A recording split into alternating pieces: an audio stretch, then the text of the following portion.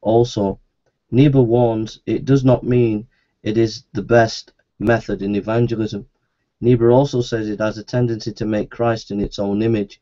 It has produced many fanciful lives of Jesus. Also, I would say this view has a tendency to put the intellectual above the transcendent. It is far, far too confident of itself and in human achievement. The following statement is an example of overconfidence which two world wars have smashed so that such liberalism should be a little more humble today. Quote, Liberal Protestantism is thus, uh, as its name implies, a religion of spiritual freedom. It rose and has grown with liberalism and tolerance, those exquisite flowers of high mental culture, efflorescence of the human soul, the harbingers of spiritual progress, wherever they flourish. Uh, that wasn't a good quote. That I was meant to show it was a show it show it in a bad light. Yeah. Um, basically, um, um,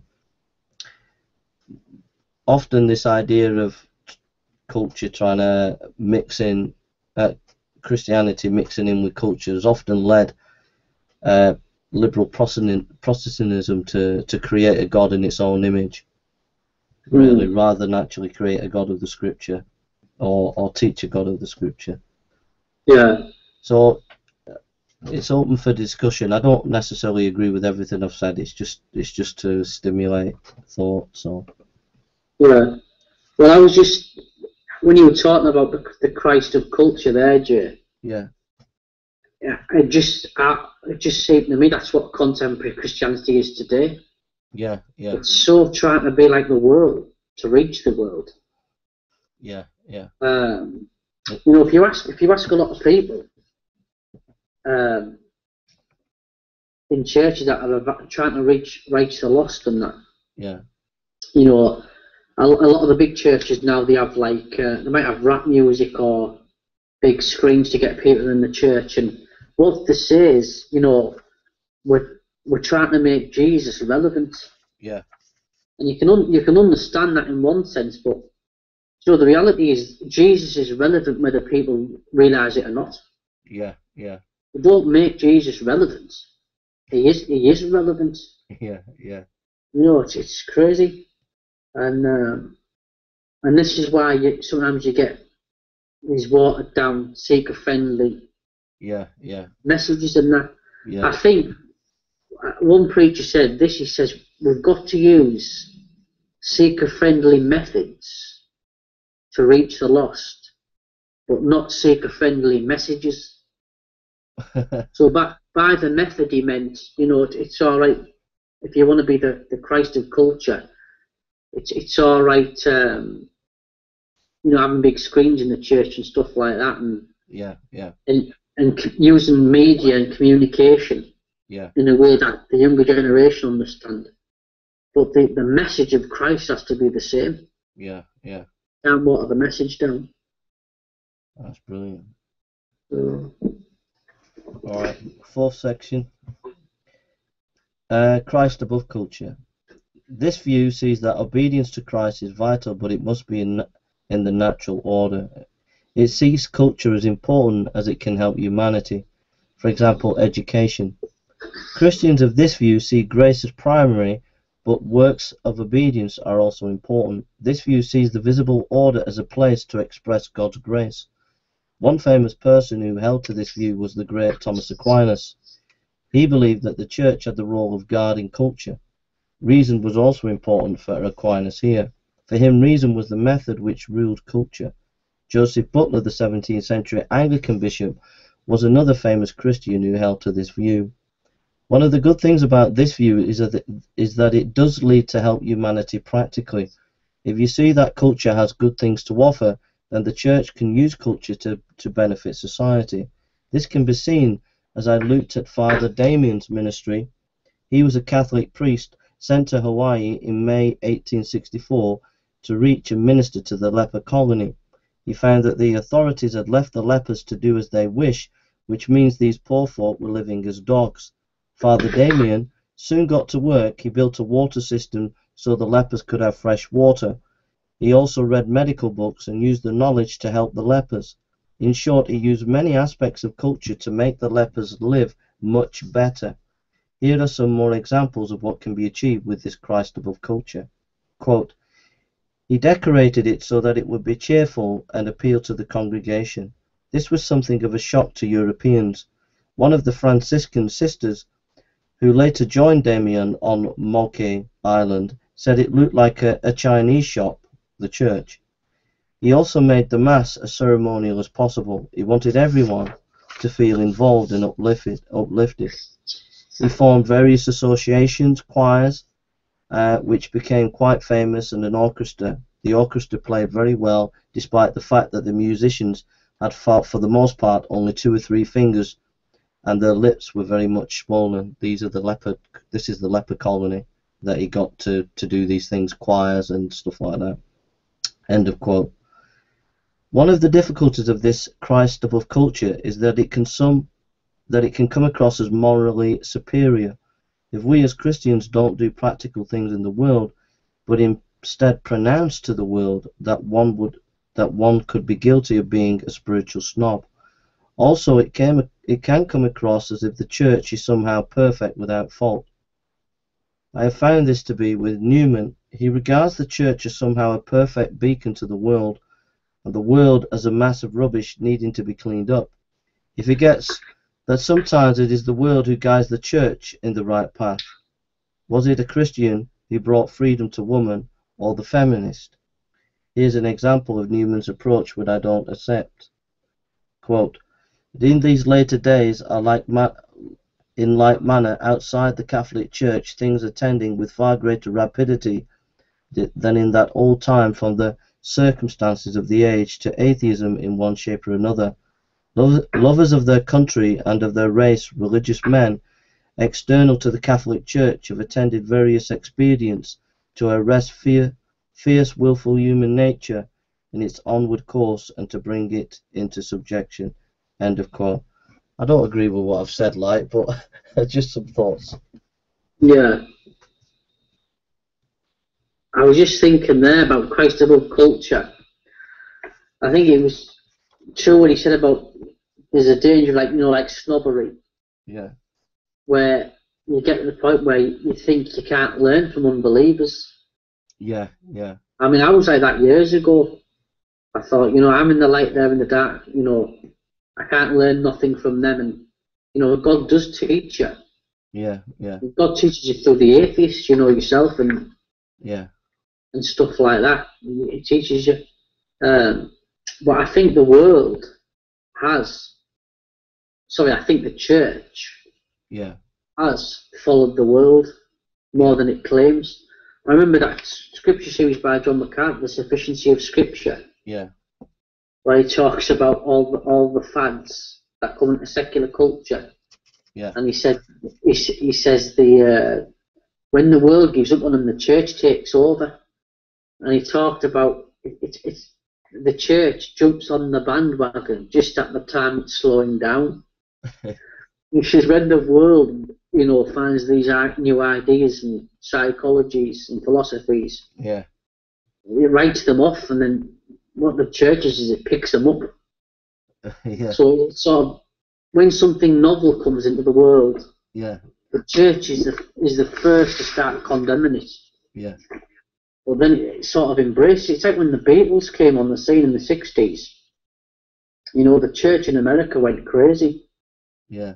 And um, John Lennon made a quote. He said, "You know, the Beatles are more popular than Jesus." Yeah, yeah. And he wasn't like being blasphemous. He was just he was stating the fact that people seemed more interested. The church was so irrelevant. Yeah. That people were more interested in the Beatles and what the Beatles had to say about things. And then, well, that's what happened. They spoke out against him. They said the mu- you know, the music's all of the devil, and they all burned the Elvis records and all, and the Bob Dylan records. Yeah. And what we're doing is, 20 years later, they're, they're actually Bring turning the Beatles songs into Christian songs, and the church is full of it now. Yeah, yeah. So a lot the churches are like rock and roll arenas. Yeah, yeah. You know, people don't now. It's a it's a gross sin if a church has an organ. You sing old hymn, it's like the worst sin ever. It's true, mate. That's that's because it's given to the culture. Yeah, yeah. That's awesome, mate. All right. That was brilliant. Christ in culture, in paradox. I think this is uh and then we got one more and then that's then a conclusion. Uh, this view advocates this is Christ in culture in paradox. This view advocates a loyalty to Christ and feels a responsibility to culture. It also sees a conflict between man's righteousness and God's righteousness.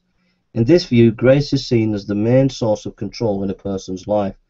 This view also sees culture as needing grace as it is affected by sin. This view is dualistic. It sees culture as damaged and going astray. It uses law to keep culture on track. The Apostle Paul might advocate this view. He regarded God as absolute and culture as relative, Acts chapter 17. In Acts chapter 17, we see also Paul's view that culture is subject to God's redemptive purposes.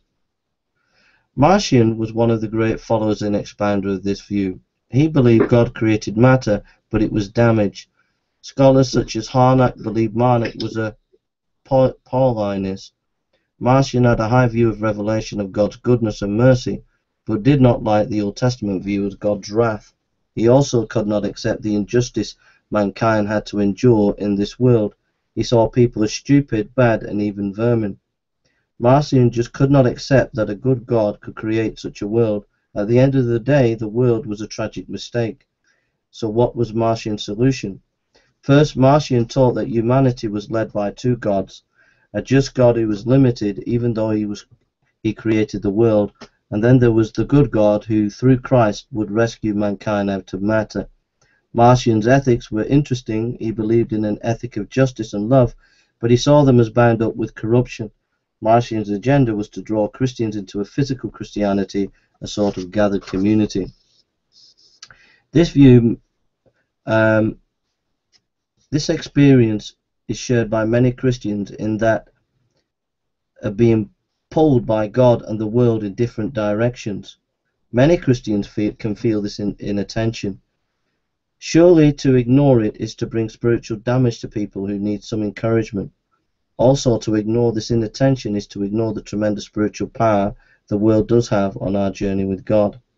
The problem with this view are twofold. One is the view uh, is its view that all humanities achieve in terms. Sorry, this problem with with this view might be twofold. One is that all you, human all that humans achieve in terms of moral law is simply sinful, least to people ignoring those laws.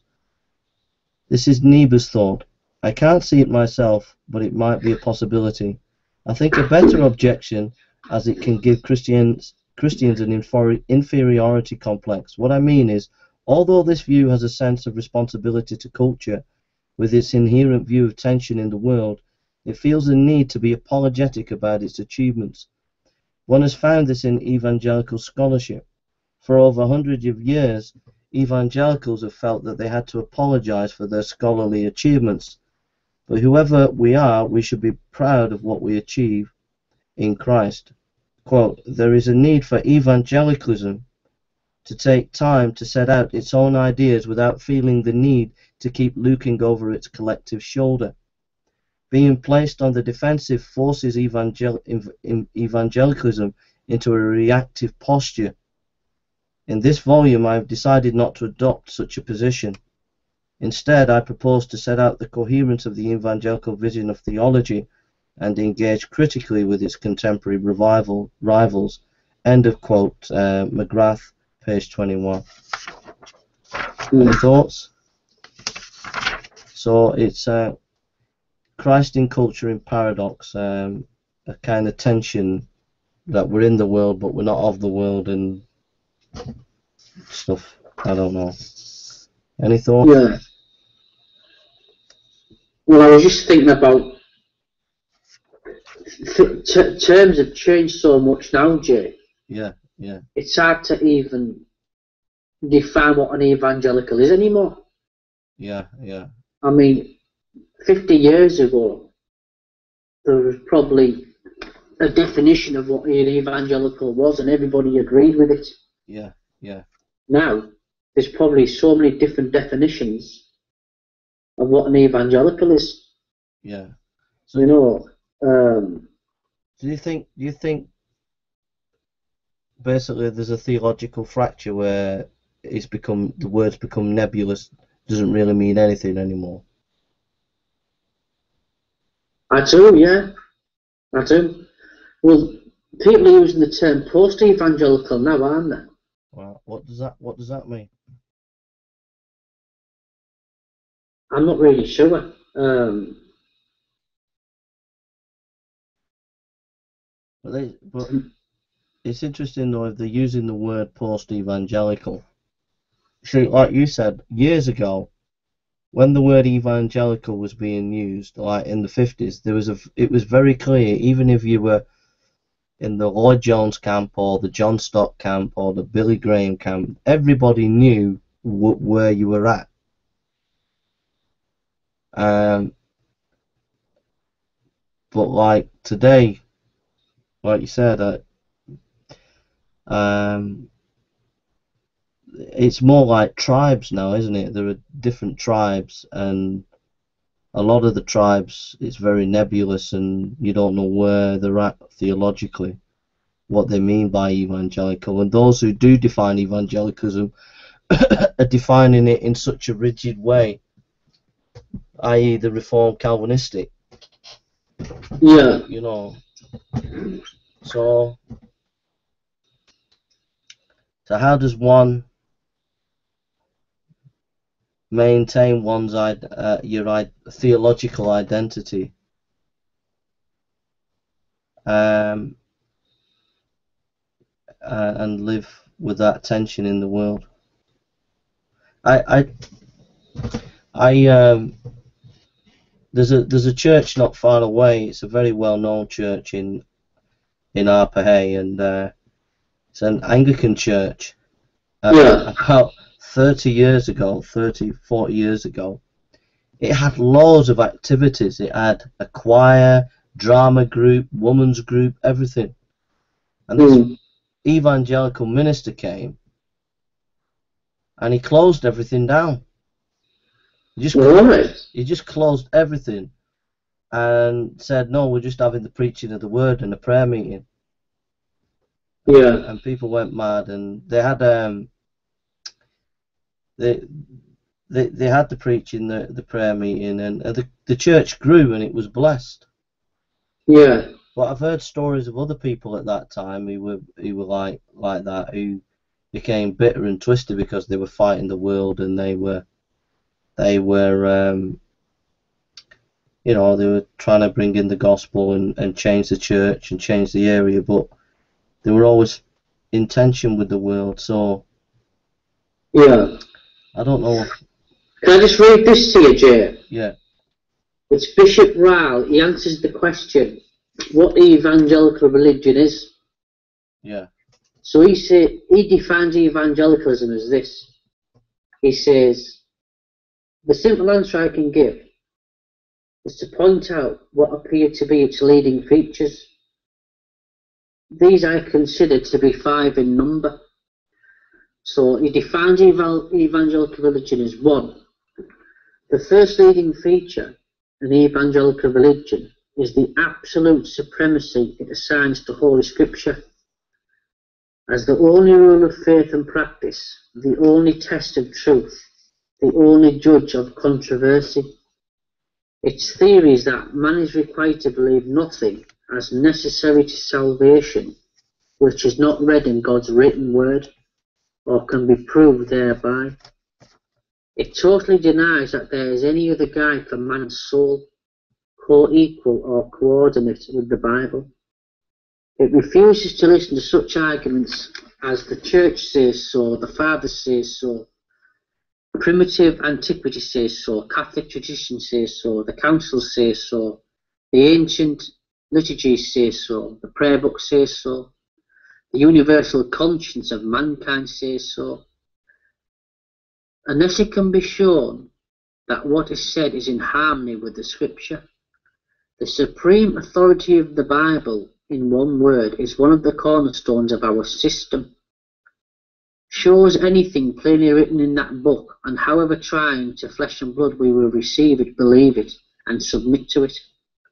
Show anything as religion which is contrary to that book. We will not haze it at any price. It may come before us endorsed by fathers, schoolmen, and Catholic writers. It may be commended by reason, philosophy, science, and the inner light, the universal conscience of mankind. It signifies nothing. Give us rather a few plain texts. If the thing is not in the Bible, or in manifest harmony with the Bible, we will have none of it. Like the forbidden fruit, we dare not touch it lest we die.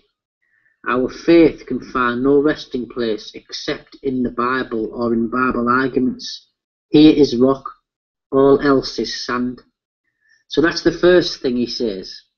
Wow, that's awesome. He says the sec- he says the second leading feature in evangelical religion is the depth and prominence it assigns to the doctrine of human sinfulness and corruption.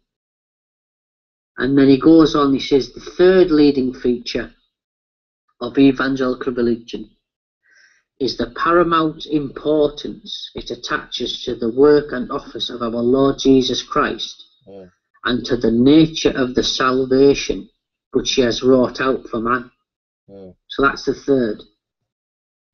He says the fourth leading feature in evangelical religion is the high place which it assigns to the inward work of the Holy Spirit in the heart of man.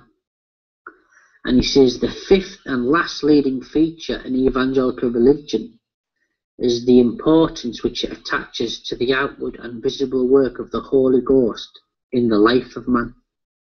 Mm. I was just thinking, you know, if you, you'll get people who come along today at the post evangelicals Mm. who maybe who are for gay marriage, Yeah.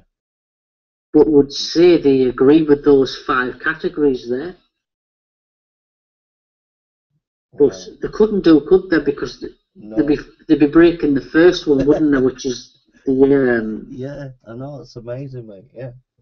the, the the absolute supremacy of Sans Holy Scripture. Yeah. I actually think Alister McGrath, he defines evangelicalism. I've got it written in my diary somewhere. And I think he's, he think he's got that off him because he, he, he puts, Yeah. Yeah. he, he actually, funny enough, he, he, he adds the church to it as well. Yeah. Six one, you know, fellowship within the church. Wow. Whereas that means he's going ecumenical, doesn't it? Yeah. Yeah. Whereas he doesn't. That was So- brilliant. All right. I'll, I've got two two more bits. It shouldn't be long now. Uh, oh yeah. No, this is the last one. Last the last model, I think. Okay. It's uh, Christ, the transformer of culture. This view is conversionist, but similar to the dualist position. This view does not reject institutions. It does believe humanity is under judgment, but still it seeks to work in culture. Here, the creation theme is important. It neither overpowers or is mastered by the atonement theme. This view sees the work of the incarnation as just as important as the work of the cross. It also sees man's state as corrupted but not bad. It believes that Jesus can transform culture. It sees the flesh as not evil. The Gospel of John teaches all this, for example, in John 3:16, uh, the universal love of God. Augustine says Niebuhr is an example of this view of Christ, the transformer of culture. For example, he used language to propagate the gospel. Uh, Niebuhr explains more. Quote, Christ is the transformer of culture for Augustine in the sense that he directs, reinvigorates, and regenerates the life of man, expressed in all human works, which in present actuality and corrupted exercise of a fundamentally good nature, which moreover in its depravity lies under the curse of transiency and death, not because it is intrinsically self-contradictory. End of quote. That was a mouthful. The other great theologian who comes in this stream is F.D. Maurice. He believed Christ comes into the world as king. He also thought Jesus was Lord of not just the church but all mankind. Even if men believed this or not, it was still true. Maurice also felt that humanity was a social organism. He believed that the individualistic piety of the day failed to take into is into into sorry. Um, he believed that individualistic piety of the day failed to take this into account. Because of this, Maurice thought that it was only in community that a person can truly find oneself. Finally, Maurice believed in universal salvation. This view has some interesting points. With such a positive understanding of creation, it encourages people to use their talents and celebrate life. It means a painter or a musician should not feel guilty if that person wishes to express themselves and explore the world around them. This view also helps the church to realize not only is the soul important, but the whole human body. The whole man needs healing. If people realize this, it can lead to a more creative forms of ministry. For example, counseling um, for, for ministers who want to use it. One church in Japan has already been doing this type of ministry Quote, Before long, Navro knew he must train more Christian counselors or else he would be completely swamped with people wanting attention. So the, so the totaling so the Total Counseling School was officially launched in 1986, with Mrs. Yuko Wantabe eventually taking charge of the nationwide series of counselors training seminars. Nabavo had a compassion for the many Christians throughout Japan who were indeed saved but were still hurting because of unresolved inner conflicts complexities and fears. He now conducts counseling training seminars in 12 cities throughout Japan. Currently, during one year, about 2,000 Christians and non-Christians are enrolled for the seminars on four levels, learning to accept themselves and finding emotional healing. End of quote. Some problems arise with this view. First, it seems to lack a doctrine of the church. It talks a lot about how Christ can transform culture, but it fails to show how this is achieved in practice even though Maurice expresses the point that it's only a social unit that the individual can find him or herself, he is not clear how this social organism is to help the situation. I think what is needed here is for his view to realize that Christ cannot transform transform culture unless he does it unless he does it through the church. That means the church has not the ability herself but needs a greater power to help and that is Christ. This view cannot achieve its dreams unless it deals with Barth's